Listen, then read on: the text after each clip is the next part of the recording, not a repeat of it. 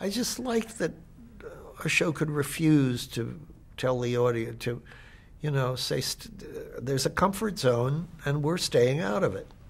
Um, it's just a little more hard edged. It's a little more uh, surrealistic. Um, yeah, hard edged is the wrong word. It's a little more surrealistic and and foolish. I'm trying to think whether there are examples in literature. Well, Joseph K. But I, am not saying that we're Kafkaesque. Uh, I don't know why. I thought of her as 99. With, well, it was originally a different number, right? No, it was oh, no? always 99. Oh, that's a rumor then. What's the rumor? it was 69. No, we would never have uh, taken that shot, um, much as we might have liked to.